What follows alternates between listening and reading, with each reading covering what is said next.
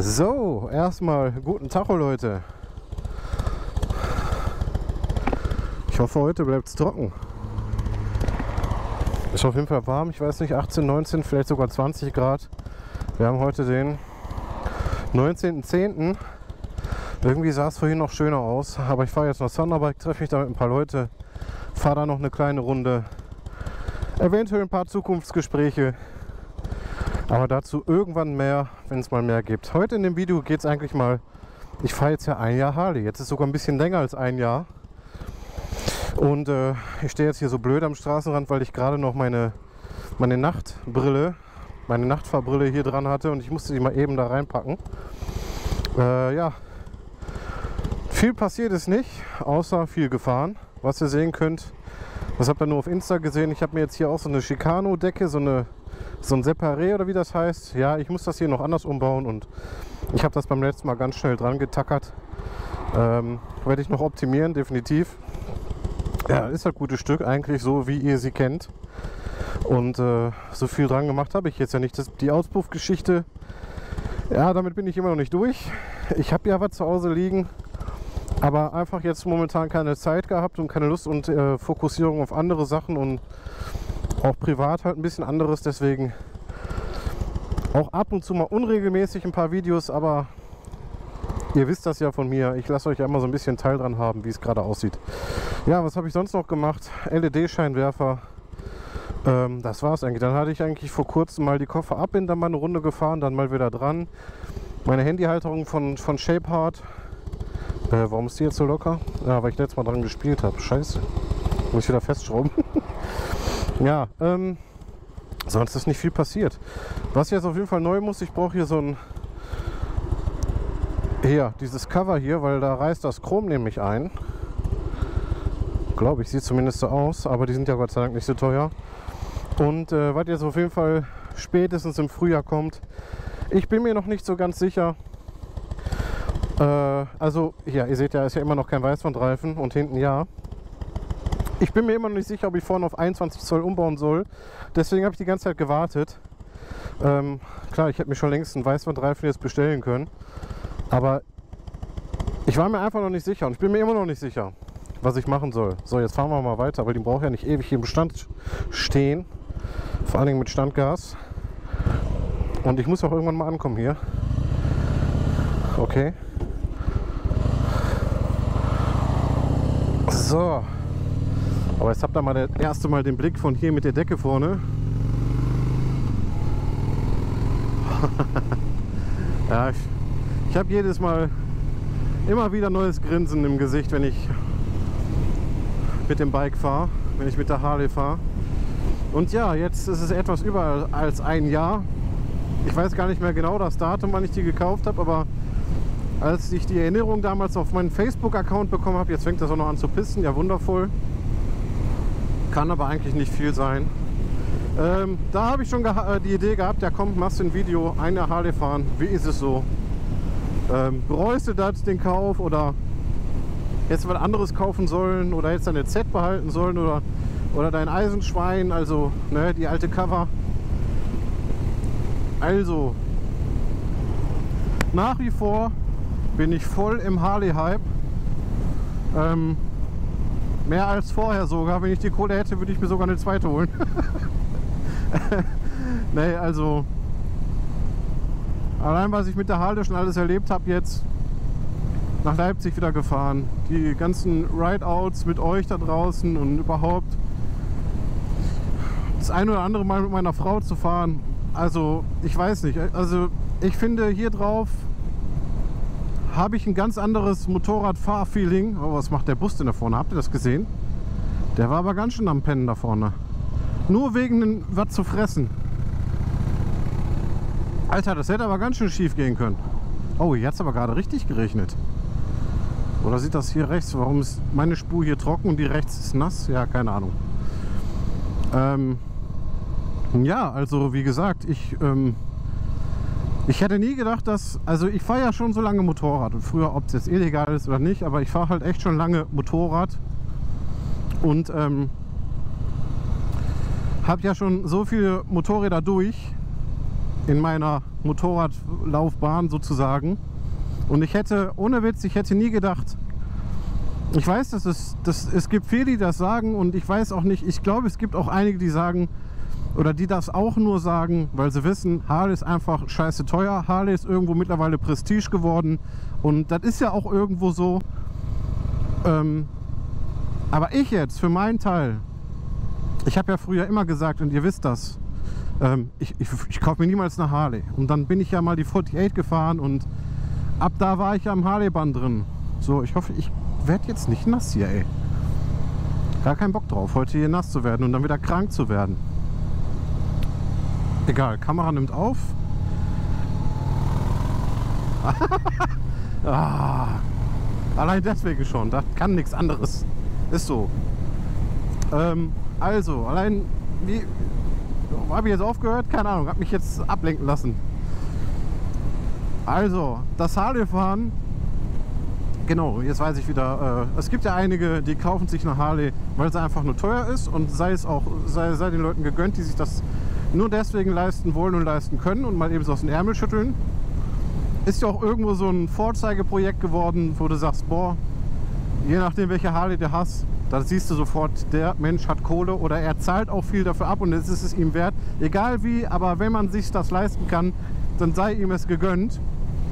Und wenn es auch nur eben als ja, was ja heutzutage auch viel ist, was es aber immer schon gab, dass sich der eine oder andere das nur kauft, um zu zeigen, jo, ich habe es geschafft oder ich habe die Kohle, äh, wie auch immer. Und dann gibt es halt die andere Fraktion, also es gibt eigentlich drei Fraktionen. Die eine, die das nur aus Prestige kauft, weil sie die Kohle hat ne, als Vorzeigeobjekt, wie auch immer. Genauso stellen sie sich dann das, den teuersten SUV oder Porsche oder was auch immer vor der Haustür. Und äh, einfach nur, weil sie es können, nicht weil sie es brauchen oder wollen. Dann gibt es die Harley-Fahrer, eigentlich ist das schon wieder ein Thema, aber äh, ja egal, ich erzähle euch jetzt einfach weiter. Ähm, dann gibt es die, je, welchejenige, die kaufen sich, um irgendwo dazuzugehören weil sie, keine Ahnung, denken, nur mit einer Harley kommst du irgendwie ins Gespräch oder so oder wie auch immer. Das ist aber auch wieder eigentlich ein gesondertes Thema, aber das kann ich ja mal kurz anschneiden und irgendwann werde ich das mal vielleicht in einem extra äh, Video dafür verpacken. Wenn ihr da Bock drauf habt, schreibt einfach in die Kommentare. Ähm, ja, und dann gibt es die Leute, so wie mich zum Beispiel. Was ist denn da schon wieder los? Jetzt ist hier Stau. Ich flippe hier gleich aus. Mir fällt gleich mein Ei aus der Hose. Ey, da habe ich ja gar keinen Nerv drauf jetzt. So, und dann gibt es die Leute wie mich, die, ist ja egal, ob die schon immer Bock drauf hatten oder nicht. Ich bin jetzt ja einfach nur drauf auf so eine Harley gekommen. Ja, weil mir das Fahrgefühl einfach doch viel mehr zusagte, als ich mir zugestehen wollte früher, ohne das Ding mal äh, gesehen und angefasst zu haben. Und ähm, ja, das Fahrgefühl, was mir Harley äh, vermittelt, das hat kein anderes Bike geschafft. Das sage ich ganz ehrlich. Ich muss mal eben die Linse ein bisschen sauber wischen, weil das echt am Pissen gerade. Also ich hält sie um Grenzen, aber ich fahre jetzt ja auch nicht wirklich schnell. Boah, nee, also jetzt ist hier wirklich so ein Kackstau. Ich kack ab, ehrlich. Ähm, ja, und dann gibt es halt so Leute wie mich, die denen die, ich weiß nicht, ich will jetzt nicht sagen die Bedeutung, aber ich hatte mich vor einiger Zeit mal mit dem Max unterhalten von jetzt mittlerweile Rockda Clean von Rockda Bike. Wir haben da so ein bisschen Kontakt und ähm, ich weiß gar nicht mehr, wie wir drauf kamen, aber auch er sagte mir damals, hatte mir auch eine lange Sprachnachricht geschickt, ähm, für ihn ist Harley-Fahren eine Passion geworden, so und das ist irgendwie so auch so eine Lebensaufgabe, keine Ahnung, aber es erfüllt ihn, es erfüllt ihn einfach zusätzlich noch neben Familie und allem möglichen, was er sonst noch hat. Genauso wie er jetzt seinen Traumberuf da ausübt. Ähm, erstmal Grüße gehen raus, Max. Äh, ich habe das nicht vergessen da damals. Und ähm, ja, und äh, ich weiß auch gar nicht mehr, da müsste ich jetzt nachlesen und gucken, wie wir auf dieses Thema kamen und auf dieses Gespräch. Aber äh, seitdem hat es bei mir auch so ein bisschen gerattert. Wie ist es denn jetzt bei mir geworden, seitdem ich jetzt Harley fahre und hat sich bei mir irgendwie was verändert? Und ich finde schon, also das Motorradfahren, äh, jetzt nicht allgemein das Motorradfahren, sondern das, wenn ich mich auf die Harley hier setze, irgendwie fühle ich mich deutlich freier von allem als, als jemals zuvor auf jedem anderen Bike. Also freier von negativen Gedanken oder... Warte, ich, ich erzähle gleich weiter, wenn ich hier rüber bin, weil ich kriege hier gleich einen Anfall. Oh, alles sauber an der Harley und jetzt ist hier wieder alles dreckig. Ja, leckt mich doch am Arsch, ey. Kriegt doch gleich einen Anfall hier, ey. Da war schon Schnittloch in, in seiner Superwarnweste.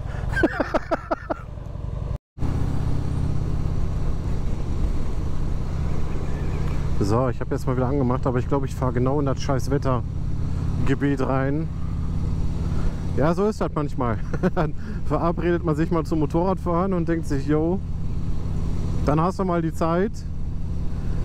Und äh, ja, was ist? Ein Scheißdreck ist. ja, da muss ich jetzt durch. Ich habe ja zur Not mein Regenkondom dabei, aber so wie ich mich kenne, ziehe das Scheißding sowieso wieder nicht an. Und naja, wir werden sehen. Also, ja, jetzt äh, erzähle ich nochmal so neu, weil ich jetzt einige Minuten aus hatte. Also bei mir ist es jetzt auch so, dass wenn ich, also es war früher immer schon so, Motorradfahren ist natürlich Hobby, Motorradfahren war früher auf jeden Fall auch so ein bisschen Adrenalin, weil schnelle Kisten und so weiter und mal ein bisschen um die Kurven jagen und ne, so. Ich glaube, alle, die so ein bisschen Naked Bahn oder, oder, Naked Bike oder äh, Rennmaschine fahren, die wissen, was ich meine. Oder auch der ein oder andere, der mit seiner Harley ein bisschen zügiger fährt. Also ist ja nicht so, dass ich hiermit jetzt auch nur äh, äh, wie, also wie eine Oma mit ihrem Rollator fährt, äh, hier durch die Gegend Eier. Außer jetzt gerade im Regen. Irgendwie vertraue ich dem Reifen noch nicht so ganz bei Nässe. Egal. Ähm, was sich bei mir so ein bisschen geändert hat, ist, ich fahre nicht mehr wegen dem Kick oder so. Ja, das sowieso nicht. Ich war jetzt nie so derjenige, der sich äh, so stark in, ich sag mal, äh, wie soll ich sagen, in, in straßenverkehrsrechtlichen äh, Grauzonen bewegt hat. Da, na, es war schon keine Grauzone mehr, aber ich habe halt einige Kollegen gehabt oder noch den einen oder anderen Kollegen, der auf jeden Fall in Geschwindigkeiten fährt und, und, und Aktionen oder die Geschwindigkeiten in Aktionen fahren, da bist du jenseits äh, davon, dass du jemals deinen, deinen Führerschein wieder bekommst. Das habe ich relativ, also habe ich eigentlich nie gemacht. Ich war auch nie ein Fan davon, auf der öffentlichen Straße mit dem Knie auf dem Boden, also gezwungen, also das rauszuprovozieren. Weiß ich nicht. Auf der einen Art ist das natürlich gut, wenn du weißt, dein Motorrad so zu kontrollieren, aber eine öffentliche Straße als Rennstrecke zu benutzen, ist natürlich auch absoluter Käse. Ähm, Habe ich damals auch nie gemacht und werde ich auch jetzt nicht machen. Gerade sowieso nicht, äh, mein armes Motorrad. Also das war früher schon nicht so wegen dem Kick, aber ich bin natürlich auch gerne mal ein bisschen schneller gefahren, auch mal Autobahn und so. Auch mal mit meiner ZX12R, da dass auch mal eine 3 vorne stand. Hat man auch alles gerne mal gemacht, aber keine Ahnung. Ich habe meine Motorräder immer wieder gewechselt, weil ich nie so angekommen war, wo ich hin wollte. Und dann hatte ich mal eine Z und die wollte ich immer haben seit Jugendtagen. Und dann bin ich bei Harley angekommen. Und ja, irgendwo will ich jetzt nicht sagen, traue ich meine Z hinterher. Ich weiß, die ist in sehr guten Händen. Ähm, aber ja, keine Ahnung. Für das, was ich irgendwann mal vorhabe als Zweitmotorrad zum Umbau oder so, wäre mir die Z viel zu schade gewesen. Oder andersrum, irgendwann, ich hole mir auch irgendwann wieder ein Zweitmotorrad, gar keine Frage. Und bin mir aber immer noch nicht sicher, was das dann sein soll. Will ich auch irgendwas Altes haben, irgendwas Klassisches, auch was Luftgekühltes, keine Ahnung. Also da, das ist aber auch eigentlich ein anderes Thema, aber ich, weiß, ich wusste halt genau, wenn die Harley da steht, was soll ich dann, was sollte ich dann mit der VN? Ich bin die seitdem nicht mehr gefahren, außer an den Tag meiner Hochzeit. Und ähm, weil einfach das Gefühl hier drauf, erstens ist die irgendwie breiter, gut, es gibt auch andere modernere, also vergleichbare Motorräder von Kawasaki oder was weiß ich nicht, auch, äh, ne? Ähm, aber dennoch, keine Ahnung, da spielt schon im Kopf der Name Harley Davidson eine ganz große Rolle. Und das sage ich auch bewusst so, dass es im Kopf eine sehr große Rolle spielt. Denn es hat bis jetzt keine Marke, kein, kein Hersteller so, keine Ahnung, also die Leute so bewegt. Ob, ob man es jetzt verstehen kann oder nicht, ne, spielt auch keine Rolle. Aber äh, auch qualitativ her war Harley nie auf dem obersten Podest. Aber dennoch, mit dem, mit dem Spirit, den Lifestyle, den Harley Davidson irgendwie immer geschafft hat, aufrecht zu erhalten, dieses Freiheitsgefühl, gerade so in Amerika und was hier dann so rübergeschwappt ist und in anderen Teilen auf der, auf der Welt und das hat keine andere Marke geschafft und ich konnte es auch nie verstehen. Ich habe es so oft gesagt, ich so, ja, nur weil da Harley drauf steht, ja, was soll denn da so toll sein? Wisst ihr noch, wo ich dann damals bei Thunderbike war um, und mir die 48, ja, die bin ich ja dann gefahren und dann habe ich danach auch so eine Street Bob oder auf jeden Fall auch so ein Software-Modell da damals gesehen. Der Hund wollte mich angreifen. Ey, ist der verrückt oder was? auf jeden Fall nur Schweißnähte begutachtet. Ich habe mir nur die, die, Schweißnähte an den Tank angeguckt und da habe ich mir gedacht, Alter, so was kannst du dir eigentlich nicht, das kannst du doch niemandem zumuten für so viel Geld. Solche Sachen und das sage ich auch heute noch, aber sobald du hier drauf sitzt und fährst und, und das einfach spürst, Leute, für die, die sowas noch nie gefahren sind, ihr müsst das einfach mal machen.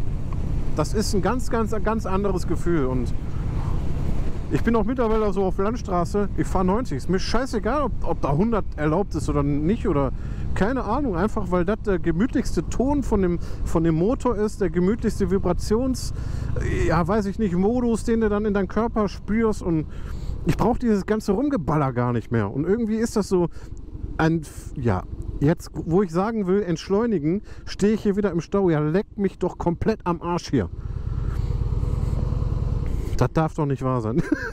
Was mache ich denn jetzt hier? Ich kann doch jetzt hier nicht bis in... Alter, wie, wie lange habe ich denn noch? Naja, gut.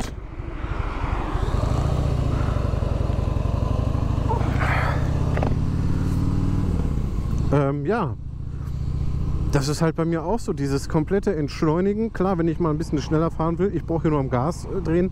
Das ist jetzt aber nicht so wie, wie eine Rennmaschine, die ich mal hatte oder wie die Z oder so. Hier kommt natürlich auch Druck, aber mehr brauche ich gar nicht. Ich brauche nicht mehr. Da bin ich komplett weg von. So wie hier, ich kann hier auch einfach mal überholen, ganz gemütlich, auf ganz entspannt. Und ähm, mehr brauche ich nicht. So.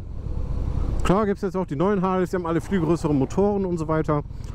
Ja klar, da würde ich auch nicht Nein sagen, ne? weil es auch darum geht, auch untertourig doch mal ein bisschen mehr Druck zu erzeugen und all das. Aber dennoch, ich bin mit meinem Ding, was ich mir jetzt hier leisten konnte, super, super, super zufrieden. Ich habe was Klassisches, was ich mit so ein bisschen modernem paare und ähm, keine Ahnung, das ist für mich so richtig Harley. So, so, was so neue Mickey Maus Geräte da, die da so wie die neue Sportstar S oder wie sie heißt, keine Ahnung, das ist für mich keine Harley mehr. Wenn ich schon, wenn ich schon die Armaturen sehe, da, da, da weiß ich nicht, da kriege ich direkt ein Hühnerauge auf dem linken Hodensack. Also auf dem linken Hoden. Ey, darf man hier schon wieder alles nicht für voll nehmen, was ich hier von mir gebe. Aber ja, ist einfach so. Keine Ahnung, warum ändert man genau das, was man haben will. So. Na gut, ich kann verstehen. Ich schweiz zwar jetzt wieder ein bisschen ab, aber so ein bisschen darüber erzählen ist natürlich auch nicht verkehrt. Äh, natürlich möchte Harley Davidson auch auf die andere, ja auch, das ist ja auch natürlich eine andere Generation sozusagen, aber auch auf die anderen Leute zugreifen, die sich sonst irgendwie eine Ducati gekauft hätten oder irgendeinen anderen Bumskram. Ähm, aber dennoch, ja, ich weiß auch nicht, das ist für mich keine richtige Harley. Aber ja, das hat man, glaube ich, auch schon vor 30 Jahren gesagt, als dann der erste Evo kam oder so. Dann haben die Alteingesessenen auch gesagt, das ist für mich keine Harley. Und äh, ja, und trotzdem hat Harley überlebt und Harley hat immer noch es immer noch geschafft, den Spirit weiter zu tragen. Und ich glaube, auch in Zukunft wird es genauso passieren. Ähm, von daher ist das, was ich hier sage, sowieso völlig irrelevant. Ähm, wie gesagt, das ist auch immer nur so eine persönliche Meinung. Und ja, es gibt genug Leute, die sich den modernen Mickey Mouse Kram kaufen, die auf dem Mäusekino da stehen und äh, auf wassergekühlte Motoren und so einen ganzen Bums. Und sollen sie machen. Und trotzdem landen sie bei der Marke Harley und dann ist doch alles gut. Haben sie auch ein Stück von dem Kuchen, wie wir alle. Auch wenn, wenn mir das Motorrad jetzt nicht gefällt oder diese neue Generation an Motorrädern. Aber es spielt keine Rolle.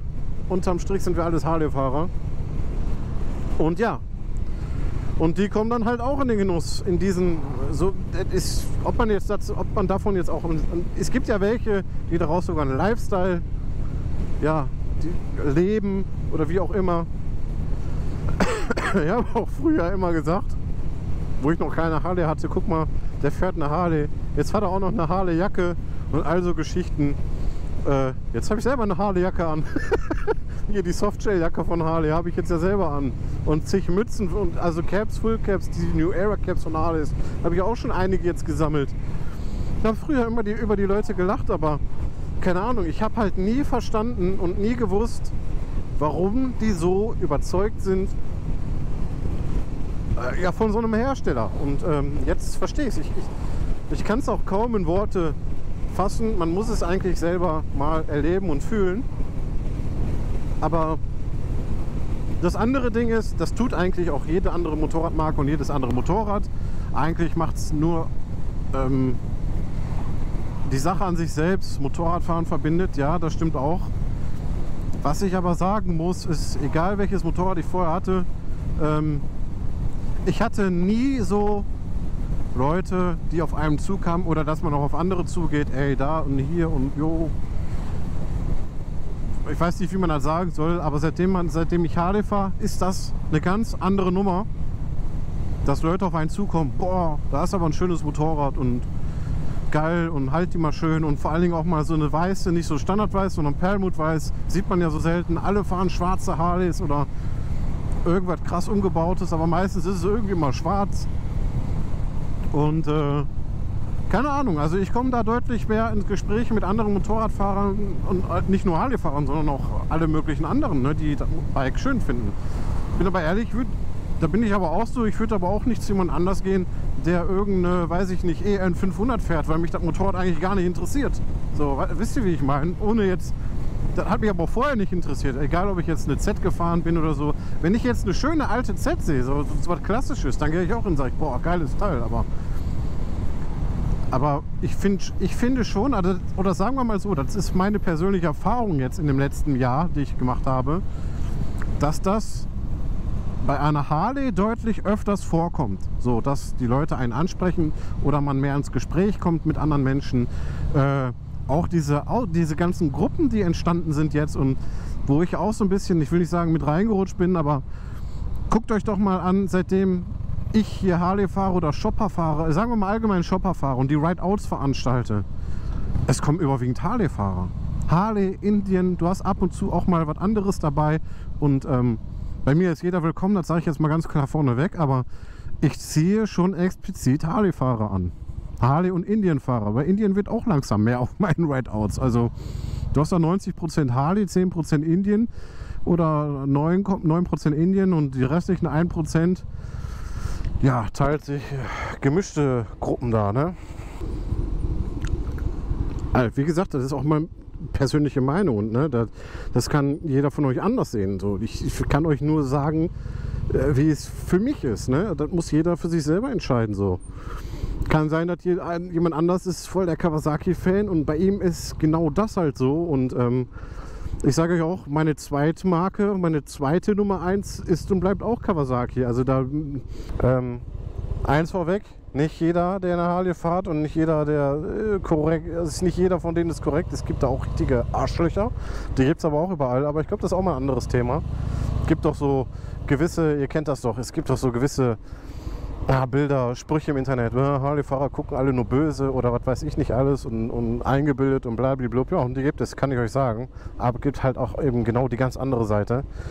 Und ähm, ich bin so ein Mix aus beiden. Ich gucke böse und bin glücklich. ich glaube wieder nur Scheiße, aber das ist die Wahrheit. Was soll ich sagen? Was soll ich euch denn anlügen? Das ist doch so.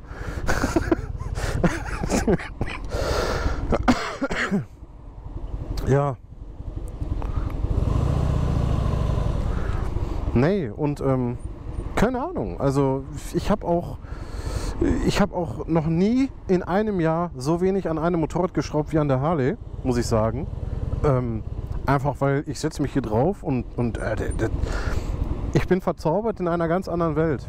Es ist einfach irgendwie so, keine Ahnung, auch die Fahrt nach Leipzig, so ich, ich bin durchweg so, ich bin eigentlich so 90, 100 gefahren auf der Autobahn es war mir scheißegal, dass ich langsamer war. Ich hätte natürlich auch schneller fahren können. Gut, ich hatte damals noch Probleme mit meinem Finger, aber ähm, ich wollte gar nicht schneller fahren. Ich wollte, was man, genau, das, das ist auch so ein Ding, so, klar, das hätte mit, mit meiner Cover VN hätte ich das genauso gemacht. Ne? Da wäre ich auch nicht schneller gefahren, weil ich da auch einfach mehr sehen will. Ne? Aber das ist halt hier jetzt ja genauso. Und du tuckerst dann mit, mit, mit einer gemütlichen Motor, äh, ja, mit so einem gemütlichen Motorimpuls durch die Gegend und du, du kriegst viel mehr von, von, von, äh, von der Länderei links und rechts äh, neben. Also, wie soll ich das sagen? Man bekommt viel mehr von der Umwelt mit so. Außer jetzt hier, wenn ich im Stau stehe und hier sowieso Scheißwetter ist, dann interessiert mich die Umwelt nicht. Aber ähm, weiß nicht, ob ihr versteht, was ich sagen will, aber irgendwie nimmt man seine Umgebung deutlich mehr wahr. Das, ist, das liegt jetzt nicht an der Harley an sich selbst, aber vielleicht ist es bei mir einfach so, weil ich aktuell so extrem zufrieden bin mit dem Bike. Und so, ich muss schon sagen, eben weil so ein Motorrad einfach verdammt viel Geld kostet. Und auch wenn viele Harley fahren, aber du siehst trotzdem, ich würde immer noch sagen, dass die Mehrheit hier bei uns äh, eben keine Harley fahren und klar, jetzt äh, von meinen Anhängern hier auf dem Kanal und sonst wie ist klar, dass ich die Leute anziehe. Da fährt fast jeder anderthalbe eine Harley. Ne? Aber wenn man jetzt mal so vergleicht in der ganzen Bevölkerung, es fahren so viele Motorrad, aber relativ wenige will ich jetzt nicht sagen, aber es sind schon und im Schnitt deutlich weniger, die in den Halle fahren. Ähm, einfach, weil denen das auch nicht wert ist, so viel Geld für so ein altes Motorrad, muss man mal sagen. Ne? Die ist ja auch von Anfang 2000, 2001. Leute, die ist, die ist über 20 Jahre alt. Wer zahlt, weiß ich nicht, was hat so Roundabout das gekostet mit allem drum? Ich sag jetzt mal 12.000 Euro für ein 20 Jahre altes Motorrad, außer eben welche, die Harley fahren wollen. Ist so. Wer zahlt für ein 20 Jahre altes, also meine VN, ihr wisst selber, die hat keine 2000 Euro gekostet. So gut, die war Schrott und allem drum dran, aber selbst wenn du sagst, von dem gleichen Baujahr, wie meine Harley kaufst du die 15, die 15 und das Nachfolgemodell, die wirklich auch aussieht wie eine Harley, mehr oder weniger. Da bist du bei, weiß ich nicht, bei der Hälfte des Geldes, vielleicht sogar ein bisschen weniger. Und ähm, ich kann verstehen, dass die Leute dann sagen, ja, ne, warum soll ich denn da so viel Geld für ausgeben, wenn ich quasi was Vergleichbares mit höchstwahrscheinlich sogar zuverlässigeren Technik und das ist auch leider manchmal auch so, äh, ja, kaufe ich mir eben dann Japaner oder was auch immer, ne? Ähm, da ist nicht jeder bereit für, das Geld aufbringen zu können, zu wollen oder zu finanzieren, egal wie man es sich auch leisten mag. Ähm, und das ist für mich dann auch nochmal so ein ganz anderer Stolz auf sowas. Das ist teurer als meine Autos, die ich zu Hause stehen habe. Und für ein Fahrzeug, welches ich deutlich weniger im Jahr benutze als ne, mein Auto, womit ich jeden Tag zur Arbeit fahre. Oder Wobei Geld da auch keine Rolle spielt. Ne? Wenn ich jetzt überlege, meinen alten Mercedes, den habe ich ja quasi von meinem Vater übernommen und stecke da Kohle jetzt auch rein, auch wenn es nicht immer viel Geld ist. Aber hier peu à peu, das läppert sich auch irgendwann. Ne? Aber ich habe da so eine alte Schrottkiste stehen, die mir auch mega viel bedeutet. Also das ist jetzt nicht so, nur weil eine Harley mega teuer ist, dass die jedem viel bedeuten muss, sondern naja, aber dennoch ist es für mich halt so ein Punkt, boah, du fährst so ein mega teures Motorrad, also für meine Verhältnisse. Es gibt dann noch welche, die kaufen sich eine Breakout für das Dreifache an Kohle. Ne? Also, aber dennoch, es ist halt zum Verhältnis zu dem, wie ich leben kann und was ich ausgeben kann, ist es halt viel Geld. So. Und äh, das ist dann nochmal so ein, so, ein, so ein zusätzlicher Punkt, der bei mir dann auch im Kopf spukt. Ne? So, äh, zu dem, dass ich sowieso mega zufrieden bin, sowas fahren zu können und äh, dabei sein zu können, sozusagen, in dieser Harley-Welt. Und ja, das, das habe, was ich haben will. So, das ist einfach so. Ich, es gibt aktuell auch nichts irgendwie, wo ich sagen würde, für die würde ich meine Harley abgeben. So, auf gar keinen Fall. So was hier zum Beispiel, ne? so, so eine Batterie auf Rädern hier. Ich würde es mir niemals kaufen. Ihr könnt mir eine Million dafür bieten, äh, geben, mache ich nicht. Ich fahre, solange man darf und solange es geht und solange man es sich leisten kann, Verbrenner. Mal so am Rande. Kann jeder persönlich für sich selbst entscheiden, ob er es gut findet oder nicht. Mir ist es Latte. Ähm, ja. Für mich hat so ein Fortbewegungsmittel mit einem Verbrennungsmotor, ist es für mich nicht nur ein Fortbewegungsmittel, sondern hat was mit Emotionen zu tun. Und bei so einem E-Fahrzeug gibt es keine Emotionen.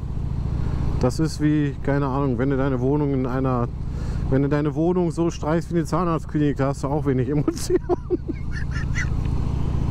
ja, ich komme hier mal auf eine Scheiße, das ist unfassbar. Ja, nee, also, ja, ja gut. Also ein Jahr Halle fahren, mega, mega geil. So ein bisschen abschließend hier.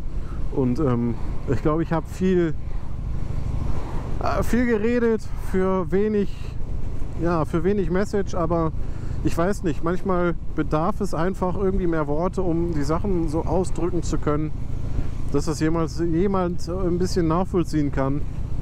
Und vielleicht ist es mir in diesem Video vielleicht auch nicht gelungen, aber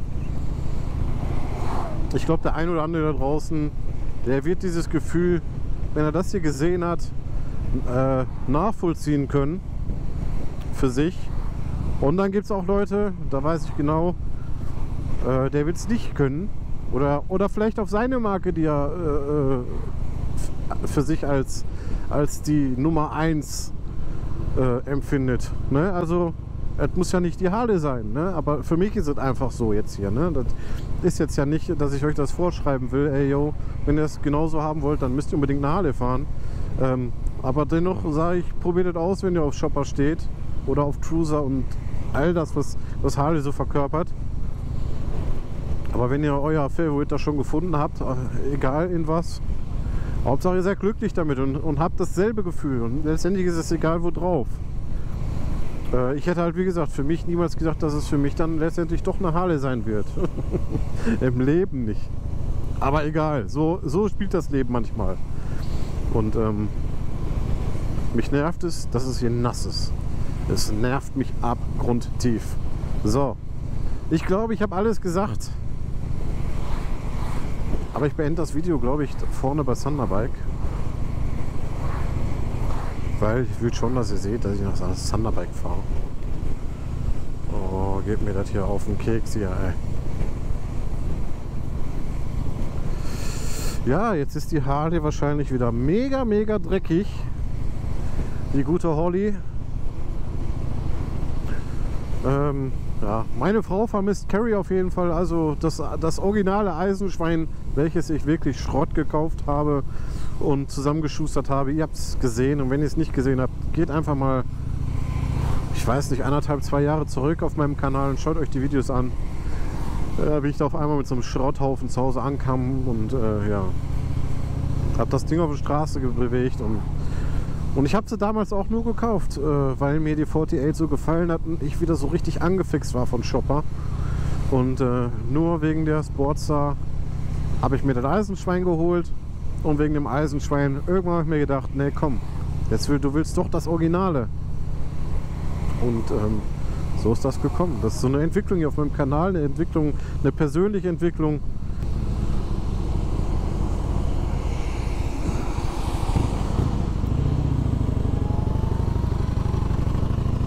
sieht so aus. Und die denken sich auch, macht der bekloppt im Regen hier?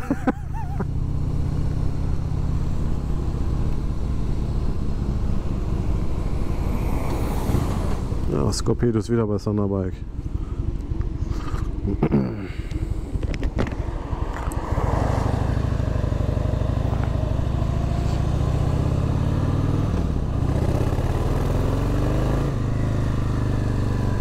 glaube, ein bisschen bin ich gerade gerutscht hin.